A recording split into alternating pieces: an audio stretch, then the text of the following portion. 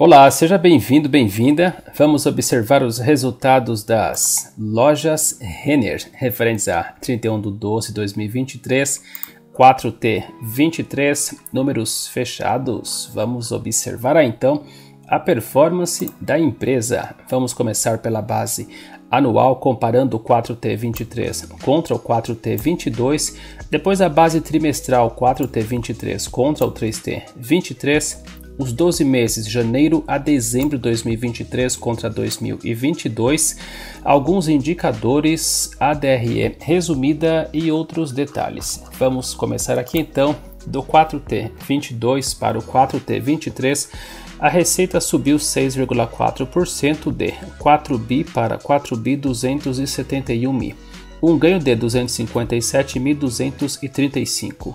Lucro bruto subiu 6,8%, lucro operacional caiu 4,5%, EBITDA recuou 0,4%, EBITDA ajustado subiu 9,7% e o lucro subiu 9,4% de 481.823 para 526.891, um ganho de 45 mil.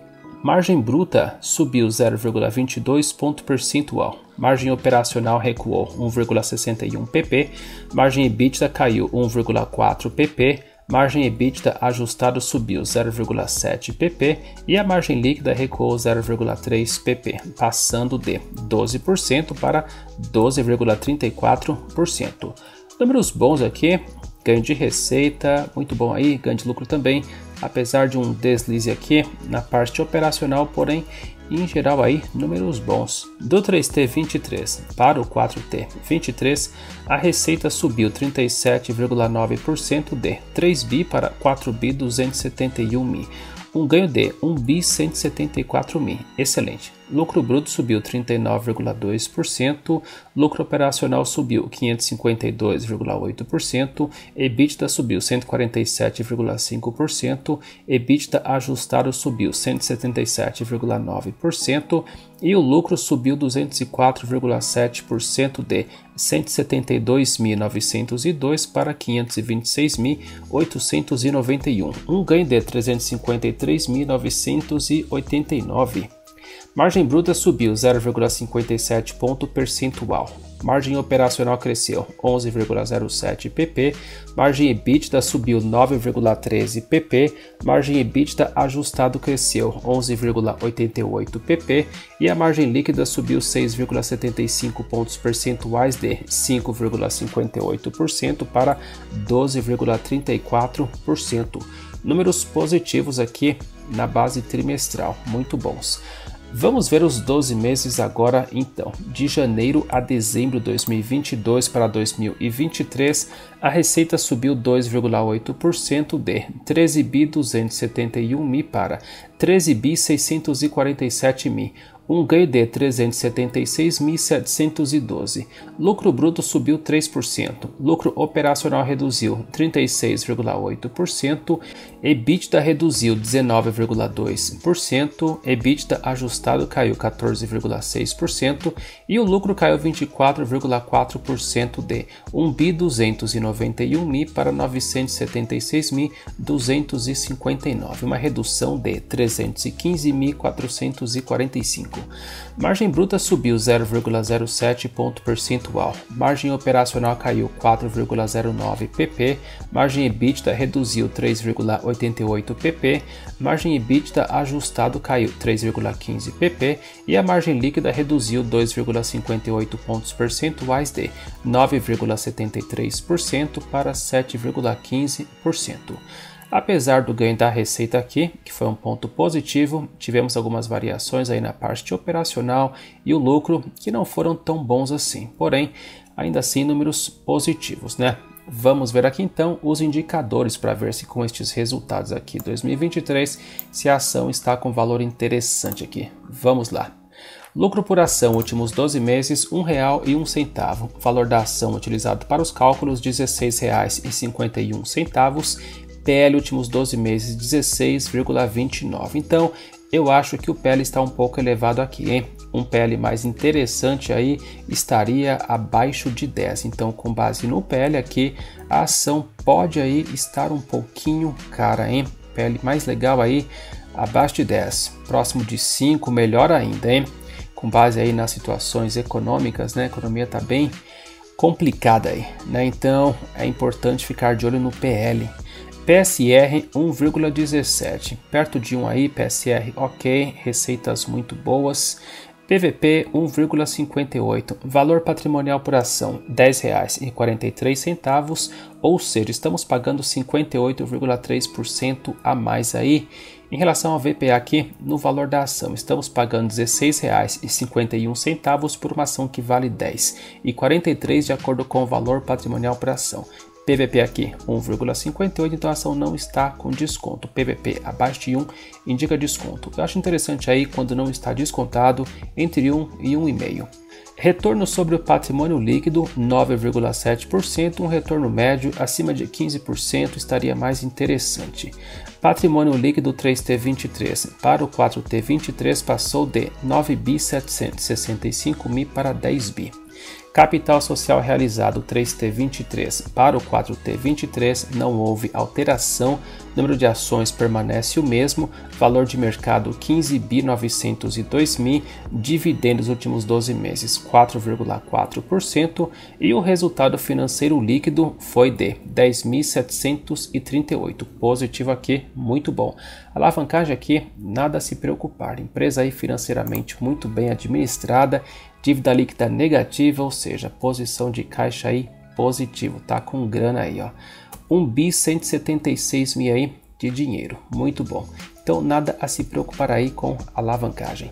DRE resumida, vamos lá, 2022 para 2023, a receita subiu 2,8% e os custos subiram 2,7% de menos 5 bi 286 mil para menos 5 bi 427 mil, um aumento de menos 140 mil 924. Lucro bruto subiu 3% de 7 bi 984 mil para 8 bi 220 mil, um aumento de 235 mil 787. Despesas vendas gerais administrativas subiram 5,6% de menos 5 bi 099 para menos 5 bi 384, um aumento de menos 285.120. Perdas pela não recuperabilidade de ativos passaram de menos 991.742 para menos 1.343.000, um aumento de 35,4% ou menos 351.535. Outras despesas, receitas operacionais subiram 24,1% de menos 486.461 para menos 603.918, um aumento de menos 117.457. Com isso, o lucro operacional reduziu bastante, hein? menos 36,8% aqui. Lucro bruto muito bom aqui, subiu 3%, porém aí aumento de despesas, hein? As perdas aqui, não recuperabilidade de ativos, foram aí uma paulada, hein? Passou aqui de 1 bi 407 mil para 889 mil. Uma queda aí de 518.324 aqui no lucro operacional. Apesar de positivo, uma queda aí bem acentuada, hein? Resultado financeiro líquido de menos 23.116 para menos 48.410, um aumento de 109,4% aí despesas financeiras, menos 25.294. Resultado antes dos tributos caiu 39,3% de 1 bi 384 mil para 840.666, uma queda de 543.618. Adicionando imposto de renda e contribuição social aqui, débito 2022 para crédito 2023, fechou 2022 com lucro de 1 bi 291 mil para 976.259 uma queda de 24,4% ou menos 315.445.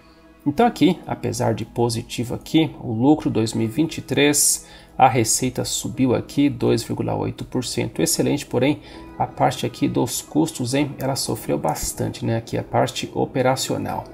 Vamos ver aqui a variação do valor das ações. Elas começaram 2024 valendo R$ 17,21, com base na cotação R$ 16,51, uma queda de 70 centavos ou menos 4,1%. Um ano antes, elas valiam R$ 18,54, com base na cotação R$ 16,51, uma queda de R$ 2,03 ou menos 10,9%. Elas começaram 2023 valendo R$ 19,33, com base na cotação R$ 17,42, uma queda de R$ 1,91 ou menos 9,9%.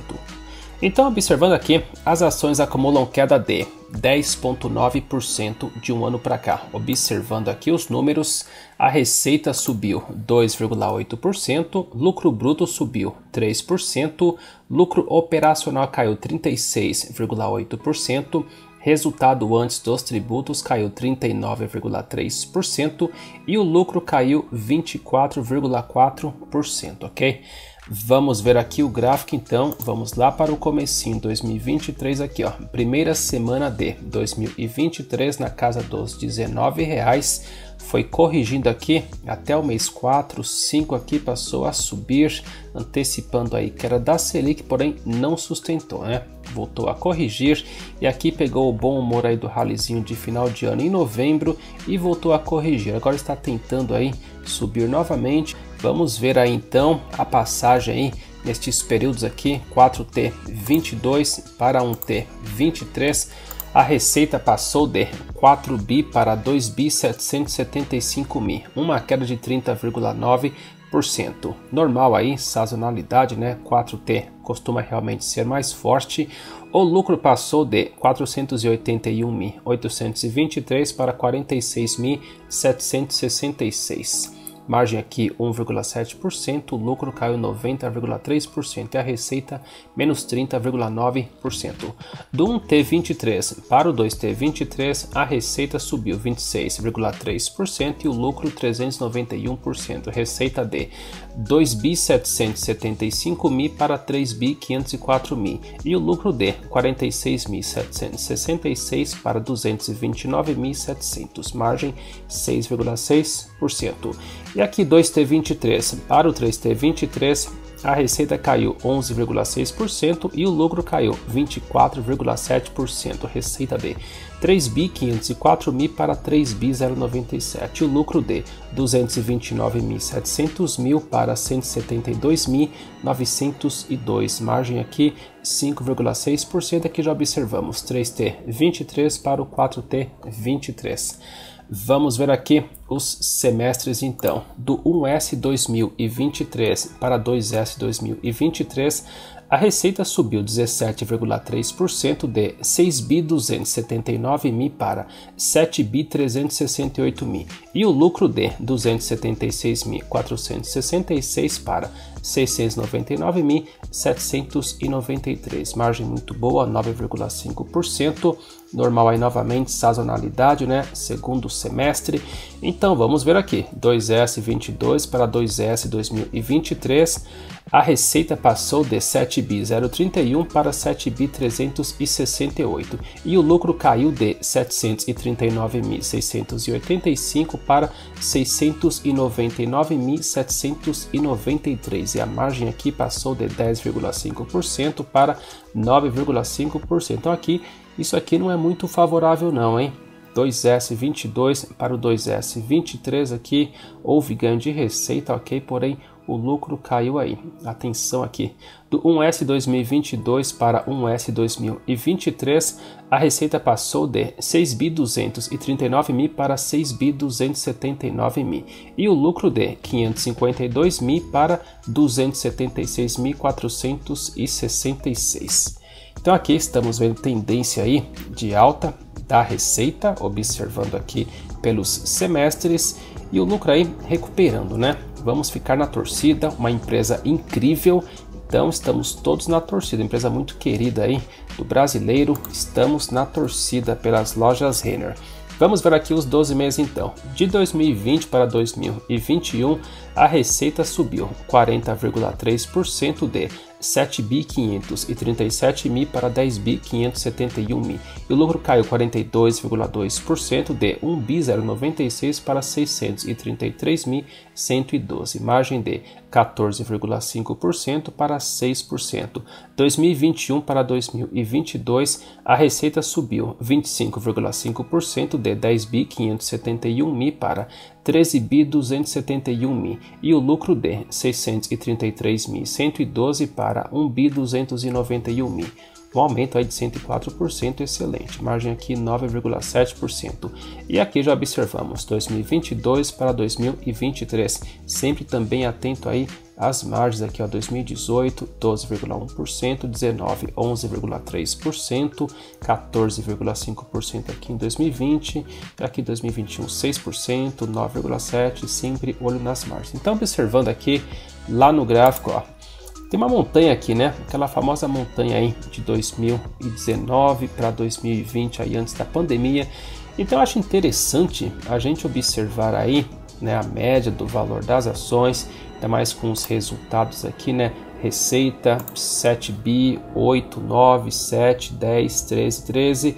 É um novo patamar de receita aqui, né? Porém o lucro aí está sofrendo um pouco, né? Margens aí bastante apertadas aí, apesar de boas, né? Apertadas em relação aí a alguns períodos anteriores aqui, né? 12%, 11%, 14%, então queda de margem aí, porém números bons mesmo assim, né? Mas o cenário econômico está bem desafiador, né? E tem a questão da competição chinesa também, então tem muita aí questão a ser observada na economia, né? Então Observando aqui o gráfico, temos que ver que isso aqui não faz parte né, do, do padrão aí tradicional da empresa.